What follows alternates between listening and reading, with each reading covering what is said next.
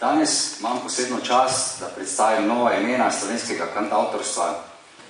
Eh, dosti nocoj nastopajočih v bistvu še nikoli ni nastopalo na Kantfestu,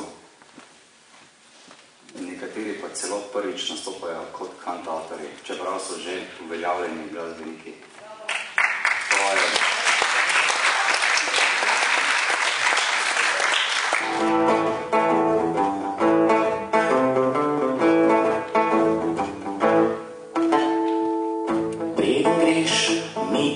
znaj Zvedela, da nič se ne vrnem Da sem ljubina v morju ljudi. Z vsakim vetrom, da se obrnem Meščina ura brez zna Mar z rokami lovila čas.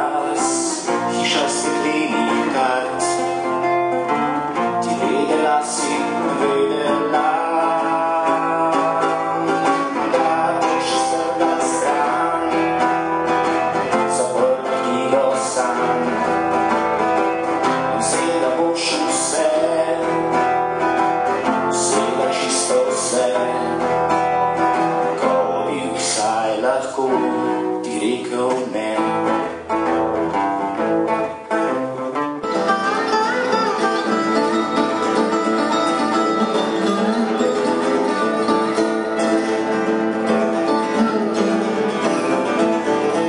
Ceste vidim lepe slike,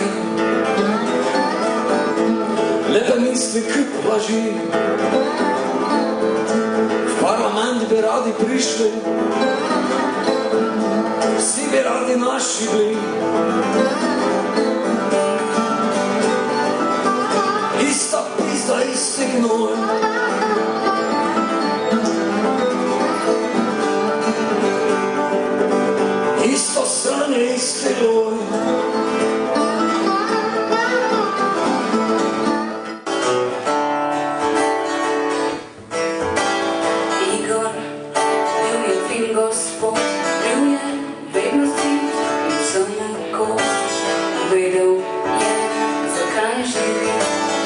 belongs, and I'm cheating.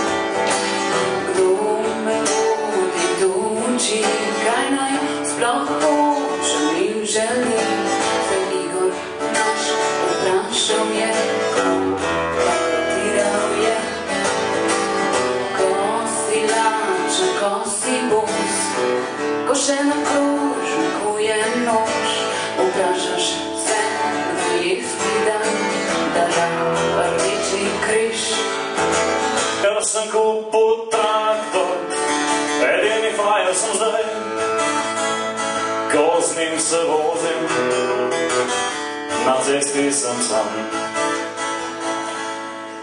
Sem se odločil, ga treba zrihtat bom, nove mišelinge, bom montiral bom,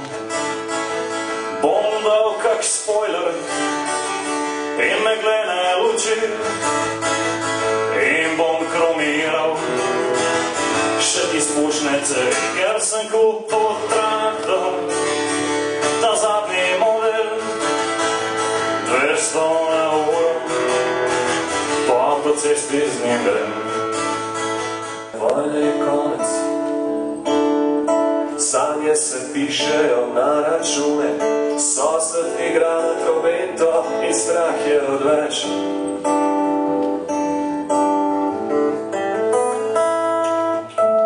Dom je tam, kjer sem pred oknom izbral svojo lužo, v kateri znam. Vedno preveriti, če dežuje dom. Jezus prek mene pokalo, dom je tam, kjer si še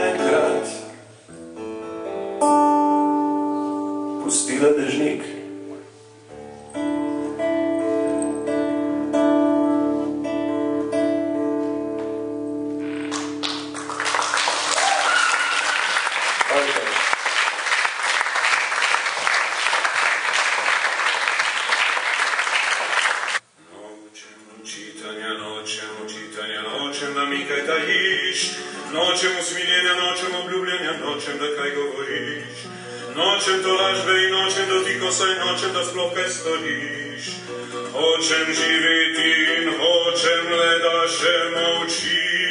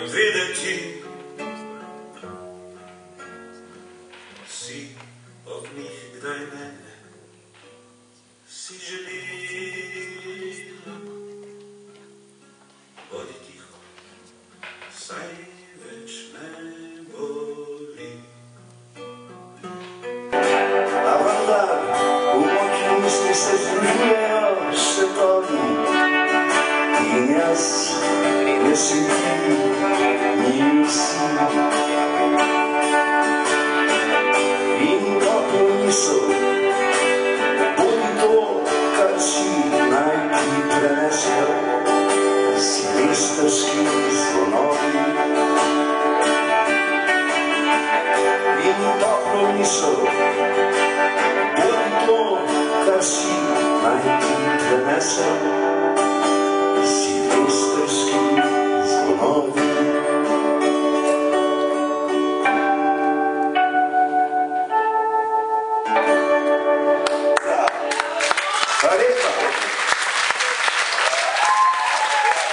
Dejstvo je, da um, slovenski prostor v tem hipu bi morda uh, zelo obogatil en, ena taka glasbena uh, zbirka nekoga, ki je mogoče, kot bi rekli, rekli stare šole, ampak vendarle nosi nekaj,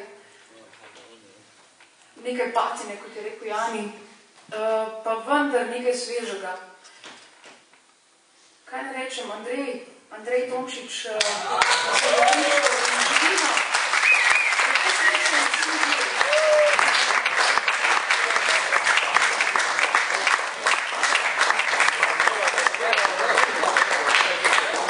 Presenečen sem, malo sem res presenečen, zato ker sem prišel iz čisto drugega filma, noter, iz predavanj, iz predavalnice, direktno sem in a, nisem pričakoval, no, sploh nisem vedel, kdo bo, vsi so se mi zdeli res imenitni izvajalci. Tako da, tako kot je rekel Jani, a, vsi si zaslužijo nagrado. Imeli smo zelo različne mnenja, na koncu smo malo razmišljali, kot sem že povedal, kako bo vsako leto. Kaj se nam zdi, da bi slovenski prostor potreboval in komu bi v tem trenutku ta plošča največ pomenila. Ne gre za tekmovanje, to sem še enkrat rekel, bolj gre za to, da izpostavimo, aha, ta segment bi bilo pa fajn in ravno s ploščo ne, bi se to zgodilo. In mislimo, da je ravno Andrej Tomčič moramo priznati, da je to veliko patine. Tudi veliko prepoznatnih obrazcev, nekdanjih avtorjev in tako naprej. Ampak po teh mesecih se pa žal vidi leta in leta piljenja, ne, izraza in tako naprej. Za razliko od lani, ne, ko smo reperju dali, ko se pa leto odločil za morda popolnoma obratno pot, za neko klasiko klasike, iz 50 let bi rekli, ampak se mi zdi ravno, da je čar, da gremo vedno malo drgati.